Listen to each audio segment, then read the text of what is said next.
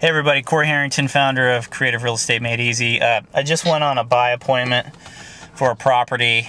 Uh, about 20, 30 minutes ago, I uh, sent a, uh, a, a, you know ping, a tweet, you know, uh, using Twitter and all that, talking about a property that I just um, bought that's worth 100 and, or 210,000, 400,000 flat, and I uh, offered for you guys to give me a call and ask me how I got it done. Well, what I decided is since I was filming the property anyway, it's usually part of my um, purchasing strategy when I'm getting the place uh, packaged and ready for marketing. When I resell, um, I want to uh, film. So I do photos and film, and then I put it on uh, on Picasa um, using the um, Google, the Gmail uh, account. It's free, and I shoot it out to investors. I shoot it out to friends and family, and whoever's interested. I shoot it out to a lot of people, and most people don't respond back. Some people do make inquiries, and then the real guys I call uh, on the phone directly and say, "Hey, I got this deal. Are you interested?" So this property is uh, it's uh, it's a funny name. Um, uh, 211 Trafalgar. 211 211 T R A F A L G A R uh, is the name of the street. It's in San Antonio, Texas. It's uh, near uh, what's called the North Star Mall. It's near the airport, and it's a really good part of town. Uh, it's worth 210 fixed and about 30, 35,000 in fix. Um, you can see the videos in the this this uh, installment. Actually, I believe I'm going to link it uh, right after I talk right now, so you could watch the um, the property. As you go through there's uh, there's things we can do to optimize the space and reconfigure rooms um, make the master uh, larger. And we're going to actually tear out a wall for the second bedroom and turn that into one giant master. And then on the other side of the house we're going to um, adjust the uh, the garage conversion bring it back to a garage and then uh, add extra space where the uh, sunroom is right now and turn that into a fourth bedroom so we can maintain the four bedroom uh, configurations. Actually, be four bedroom, three bath now, uh, about 3,000 square feet with a with a larger garage.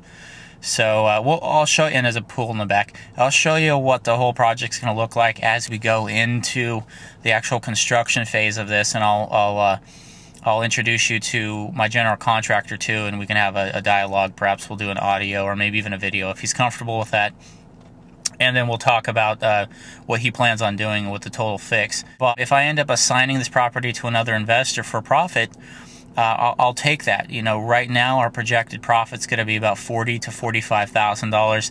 If I get uh, an investor to buy the property and I make twenty thousand dollars, I'll go ahead and take it. But typically, I need to make about 50% of what I plan to make on a total rehab for me to accept an assignment. When you assign a property, you pay nothing down other than your earnest money deposit if you have one or an option fee. What I did is I um, do I do a ten dollar option fee. I don't pay for earnest. I don't do earnest money deposits. Ten dollars is all I need to do.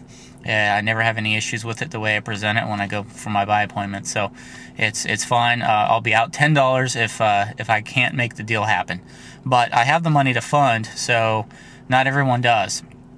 If you don't have the money to fund the properties, then your best option is to go for an assignment of contract to give it to another person, specifically someone like me. If the numbers work, I will buy them from students, I'll buy them from other investors, from other franchisees of, of HomeVestors, which is a I'm a franchisee.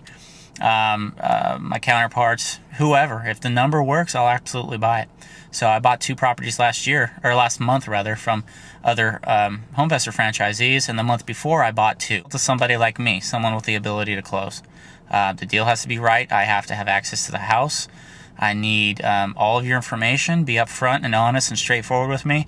I will do business with you, and I can close in 48 hours after there's clear title. So, um, with that mindset, uh, it's in your best interest to go ahead and try to assign properties and ask for $20,000 is completely appropriate. I will, if I was on the other side and I wanted to fix this thing up and make forty-five or $50,000 and someone wanted $20,000 from what their purchase contract price was, uh, I would accept it because the numbers work. So in this particular deal, I'm buying the property for $100,000 flat. I'm paying all closing costs and she will leave the closing table with exactly $100,000 and zero cents. um, I would happily assign this thing for 120,000, knowing that the end user, when when they're all said and done, is going to sell it for about 210,000, and after fix and closing costs and every other consideration, they're going to make you know 40,000 plus. Uh, if they go overboard on rehab, maybe they won't make nearly as much, but there's a lot of profit to be made in this deal. So just another great deal.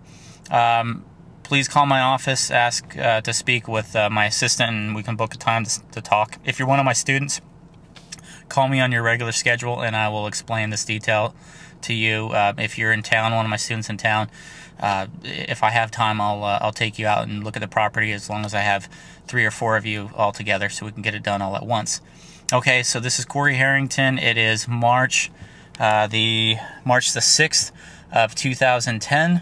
This property case study is 110, or rather 210 Trafalgar. I just purchased the property, got a contract for a $100,000. I'm going to fund it in two weeks unless I assign it to an investor. Um, and I'm looking to make $20,000 if I assign it. And I'm looking to profit about $45,000 plus if I'm going to do the full rehab and sale. And if I end up purchasing it, I'm going to walk you through the entire process of the rehab and then the sale process. So look out for those videos.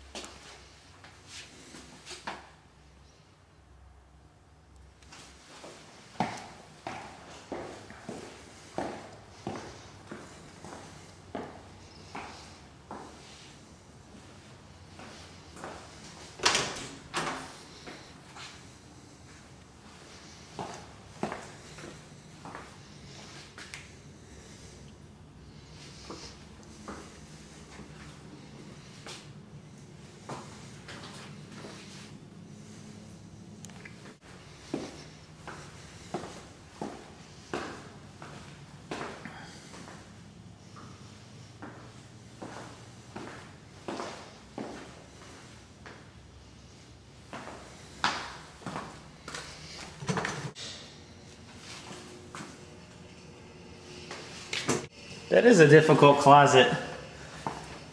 You're right. that closet door is